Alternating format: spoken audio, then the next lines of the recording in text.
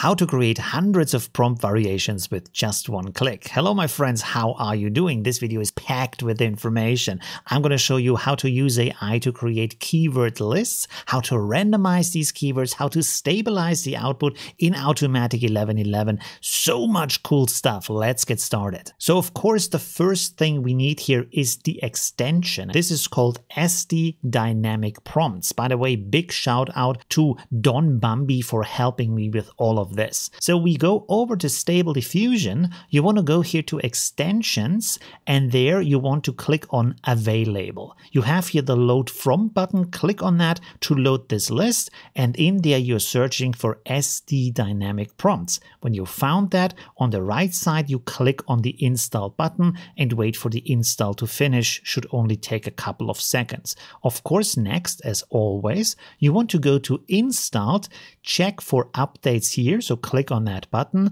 and then you want to next click on apply and restart UI. That is for the install. And now when you go over, for example, to text to image, but also for image to image and scroll down, you will see you have here new area called dynamic prompts. Of course, usually this is closed up. So you only have this short line. And when you open it up, there's a lot of settings in here, a lot of things you can do. I would highly suggest to you that you go to the link that I provide here with the tutorial and there is a lot of text in here on how to use this specifically because you can do so many things with this. But of course, I want to give you some really solid advice on how to get the most out of this wonderful extension. So the first thing I want to suggest to you is how to actually build the list of the keywords you want to use here. And for that, of course, we're going to use ChatGPT. So here I'm simply writing, make a list of 25 female haircuts. You have these lists here,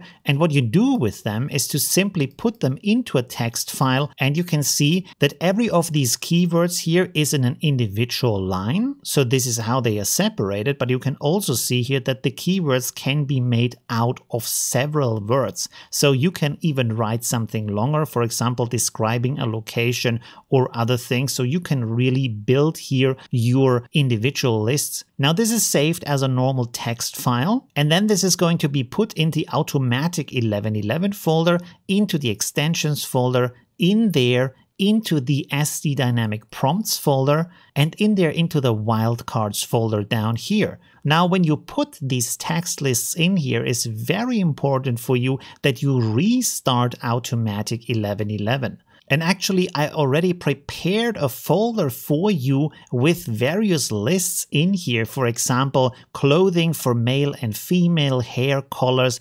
hairstyles, traditional clothing styles, things like that. So now you know how to build these word lists with AI and how to save them inside of Automatic 1111. Well, it's actually amazingly simple to use them. You write your normal prompt and then where you want to have them, for example, here I'm having a list for hair color of colored hair, not natural colors.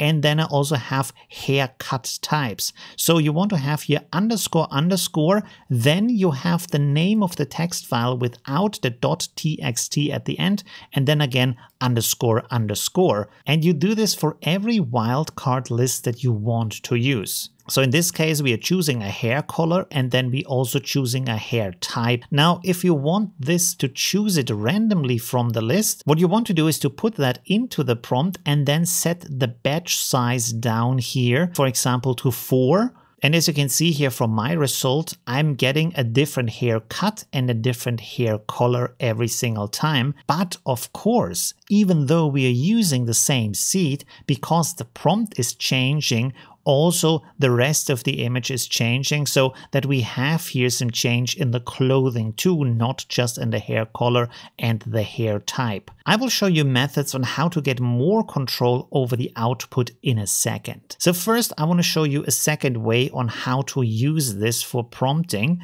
So instead of having these lists on your drive, you can of course also write them inside of the prompt by hand. You don't have to prepare any files. So in this case, I'm using an angle bracket or chevron as I think it's also called and then I write a color, have a straight line down, write another color without a space in between and then another straight line down. So you can put as many terms in here as you want. And you can put these at any point in your prompt. For example, for the light situation, for the clothing, for the age, for the hair color, for glasses, for the type of shirt, any kind of thing you want. Of course, at some points, you also want to choose multiple of these words at the same time. In that case, what you can do is that you have here the number of how many you want to choose. For example, two, and then you write dollar dollar sign and this will choose now two terms from this list inside of the angle brackets. Now in the next example that I want to show you here, I have made two of these brackets. So the first one has red, green, blue and pink as the color. The second one has short hair, bob cut and curly hair. So different hairstyles that I've written here again in these angle brackets. Now instead of using the batch size down here, what I'm doing is to set the batch back to one and I'm scrolling down here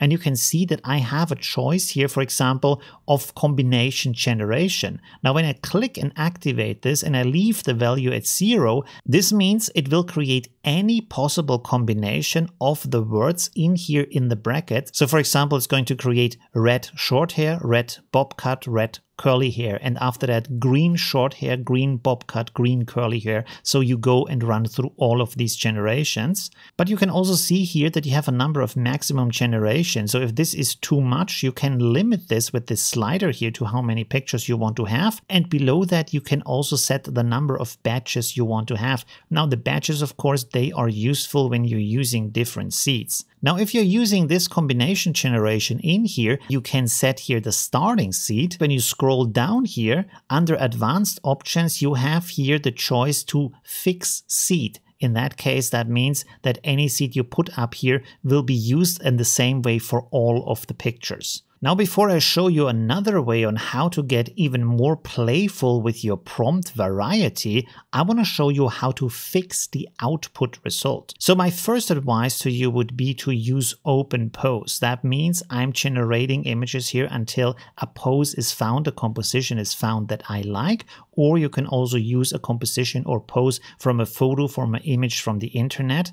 And then of course you scroll down here, you open up your ControlNet 1.1. I also have a really cool video about ControlNet 1.1 that you should check out. And it also has a trick in there for really massively improved quality of your images. So what you want to do here is, of course, you load the image you want to use.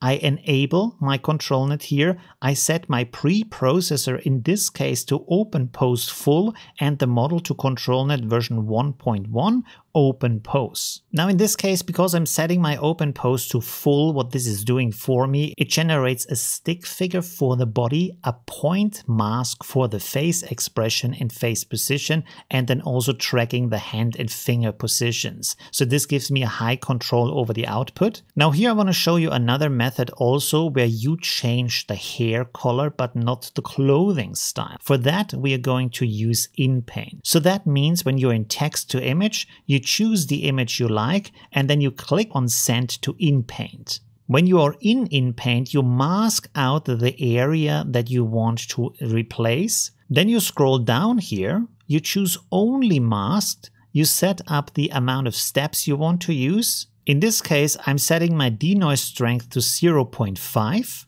and I'm also again using ControlNet. But in this case, what I'm doing here is that I'm using the input image that I've generated. I'm setting my preprocessor to normal BAE and then my model to control version 1.1 normal BAE. What this is going to do is that it creates for me a normal map and as you can see here this also includes the hairstyles so that this is staying rather consistent. With all of that in place, I'm removing the variety or the wildcard list that is about the haircuts from my prompt. So it's only about the hair color in here. And then I click on generate. And that should result in an image where the hairstyle is the same, but the hair color has changed. And because we are only in painting, the rest of the image, like the background and also the clothing style should stay the same. Now, of course, this extension has more to it than just using your prompt list. You can also have another automatically created variety for you.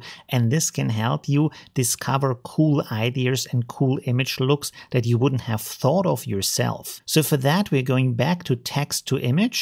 In this case, you don't need these lists or these variables, and you can actually make the prompt rather short. So in that case, for example, you could remove all of this. So you just have the starting point of the prompt, and then you scroll down here to your dynamic prompts. Now here we're turning off combination generation because we are no longer using that.